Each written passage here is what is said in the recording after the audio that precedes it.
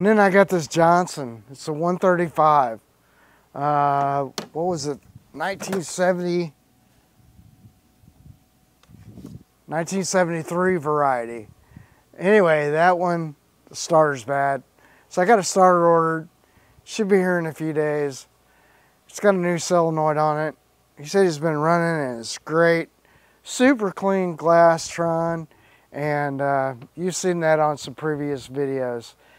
So if you, thanks for watching and subscribing and liking the videos and commenting and anyway, it's beautiful here in Tennessee. We're getting ready to roll into fall, so I've been trying to do a little fishing. And I think hopefully the next video is going to be just me out on the lake fishing because I'm tired of working on boats.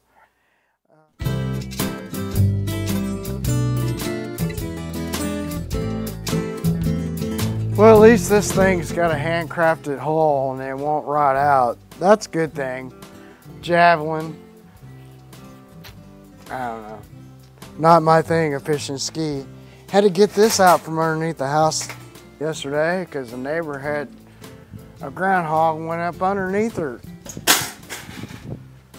Her uh, air conditioner. They got all freaked out. I would have just left him. Anyway, then he went and got himself stuck in the fence. So I went over there and clipped a couple of things, drug him out. And they were, I don't know, they let him go on. I said, don't, don't mess with that groundhog. He's, you know, but he could tell he'd been wrestled around all day. He was wore out, like he was really stressed out by the time I got there. Anyway, we got him up and I watched him go down the street they're building houses everywhere and they're running all these wild animals out of their natural habitat. So I even saw a snake here last year and I didn't know what he was. I think he was like, eh, maybe it might have been a common variety garter snake, but his head looked like a venom head. So anyway, I didn't mess with him. I haven't seen any more of those guys. So hopefully hopefully, well, we got fall coming up, so they're gonna go hide. Snakes are, I hate snakes. I hate spiders and snakes. Everybody does. Well, what's going on? There's that old seven and a half horsepower, 1956. I got it all back together. Uh, I had to take the lower unit, put a new impeller in it. I'm hoping the housing's good. The impeller was pretty trash. Uh, you got to pull the power head there's seven little screws underneath and then hopefully you don't mess up your gasket. Uh, you can't I ordered another gasket but I put this back together and uh, yeah let's hope she pumps water. I think I think she will. What else is going on? Um, have this uh, had to order a lower unit here. Uh, yeah OB parts and then um, another victim because the lower unit ordered. Here's another victim of Percy Priest Lake. Check it out. It doesn't even have the rudder into this lower unit. So that lower unit's toast. And we got him a new one. Got it installed. And I'll show that to you. I didn't film any of this because, you know, I just doing it, get it done. Okay, we got the Mercury XR6 flavor. And, whoops. And it's a 150. Decal's gone. Can't see it. You can barely see it. So, he needs a new decal. Might mention that. Uh, got a new lower unit put on for him. So I got that been checking the wiring. Uh, we fixed his gauge up here. All right, there you go, guys. Sorry, my camera's freaking giving me problems because I don't know what I'm doing. And you know, YouTube doesn't want to pay me squat for making these videos. Okay, so this depth finder, it actually works when I turn the power on. So power's all the way over here. I'm film this. Anyway, I got this on. I'm guessing this is part of the whole dash because I don't hear any bilge pump and we don't have power here. So we don't have power. Just need to check that. Or does it? I can't tell if the light's on. No, the light's not on. Sorry. So yeah, the lights are not on. But we know we got power passing through there, so we have to check that. Make sure that's all good. Um, on this side, it's got like a manual. I'm sorry, you guys. On this side, over here, there's like this sensitivity knob, and that's going to be for the auto live well. And then, you know, navigation lights I haven't checked yet. Uh, courtesy lights, I don't see any. I'll probably put some in, but I've got that off. Accessory lights on. And it's kind of the same thing up front. There's a whole panel up there. Let's see what happens we, so you can see. Let me turn it back. So here's the little horn. This is not working. There's our fuel gauge. I had to fix that the ground was making it to the here, but I guess it wasn't making it back there, so I made another ground cable to go from the sending unit, the, the little round piece, to the negative side of the battery. And then over here, we got voltage. And we'll have to check our tach. And then, of course, this is uh, water pressure. Yeah, we could watch our meter and see if anything drops when you turn on. I don't see anything. So obviously nothing's pulling electricity. So I think this needs both pumps. Uh, I'm going to have to let him know about that so we can see what he wants to do. The trim switch works. But we don't know, there's no courtesy lights and we don't have navigation lights. And then the aerator is all right you guys. I really don't get paid hardly anything from youtube to make these videos.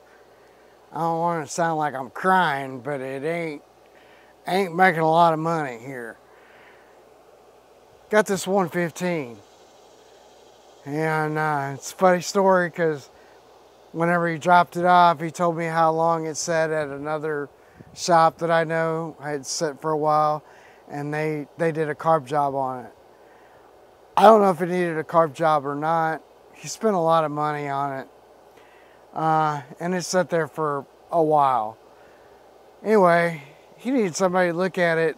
Not a lot of guys in this area to do this stuff, so I got it, which is fine. Um, it would be nice to get it done and get it out of here, but you know, we'll take our time, get it right. It's a good job. He's paying me pretty decent, you know, so I'm going to take care of him. But uh, it's a weird one. So I think the carbs are fine. And, and I wonder if it even had a, even it was a problem with the carbs in the beginning, but we won't know that. No way to know that. And uh, anyway, so what's happening with it? So this guy is really intermittent. You know, it's a V4 Johnson 115. I want to say it's a 2000. I can't remember. It was a 2000. It's the one with the optical ignition with, you know, yeah, they're not fun.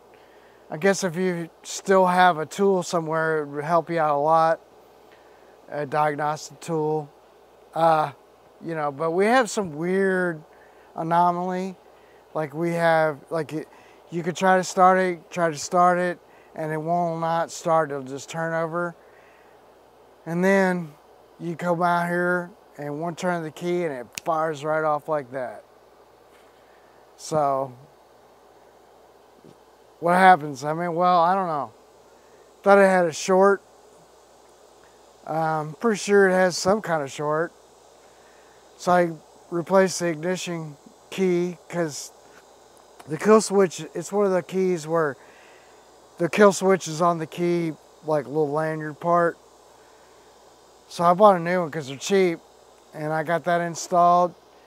And I've taken a continuity checker, checker and I've traced the lines all the way back to here and all the lines are good. Okay, the next thing I found was, hopefully you can see this. I don't know if the camera is going to really pick this up very clear. Try to zoom in maybe. With that pin over there on the left, see how it's kind of turned to the side. And the next one is a little off, but then the these first two, they're fine. So I got a de-pinning tool that I just bought. I'm gonna have them, you know, anyway. And that'll just come out of these seal connectors in here. Maybe I can fix it. I'm hoping I can fix that because I think this is our problem. And when I look at this, this is the black and yellow wire, um, which is kind of like a kill switch. So I'm really weird, weirded out because if it's not, like I can put it a little, I don't know, a thing in here in uh, probe, and then I can go up to the kill switch and you can hear it turn off, turn it on, because I can go to the meter side to ground. And then the other thing I found was this wire had been rubbed through, so I soldered it back together and shrunk wrap it. So I have a new rectifier coming because I, I think we have a problem with the rectifier. So this this doesn't seem to be our problem, but I think it is, you know, the rectifier maybe is a problem. I hate the fact that they put the solenoid down there because now you can't remote start it. What I'm talking about is the starting solenoid is way down here. You know, I wish they would have like mounted it over here or somewhere, but not down there because then, you know, you can't remote start it. So I have to disconnect the battery to do this, which, you know, no problem, no big deal. All right, I got that one going on. And like I said, it's a really weird deal. So we got some sort of strange problem in the ignition system. And I think what's happening is uh, the, the symptoms were when he brought it to me was that at, what did he say, like 2,500 RPMs, a little higher, like 3,200 RPMs, it would just bog down and then it wouldn't run. Okay, this is the 1956 Evinrude seven and a half horsepower. And uh, so we got it running and um, it's got an old gas tank. It's got the dual line, two lines. One is for air and the other one is for your fuel line. And uh, it's got a little primer bulb down there and you push on it. You just pump it up and then there's a little glass bowl underneath here. And you know, I, uh, I'm, you know, I'm inclined to maybe take this glass bowl off. It looks like there might be a little bit of debris in there. Uh, probably should have just done that when I took the lower unit off because I had to lift the power head up and off. That's how you do these. See, they went to a little help, had, you know, like 60s and 70s, they had a little plate on the side and you take that plate off and then you could reach in there and there was like a 3 ace bolt kind of went through and locked locked that dude in place. But they don't have that on these. It's kind of a pain. And I guess I could if I need to I guess I could take the power head back off. There's a gasket underneath there. There's a couple of gaskets anyway trying to make a little money this is that radio it's like the box it's got a mount in. So uh, I just cut me a little piece of board because under the dash, I'm gonna put a couple screws here, like on each side is really. Anyway, he bought this little digital digital media receiver with Bluetooth. I'm not big on these radios, to, but hey, he wants it. Let him have it. Well, I got some directions. Looks like it's got Oh, this was his his sending unit that was no good. So here's the dual.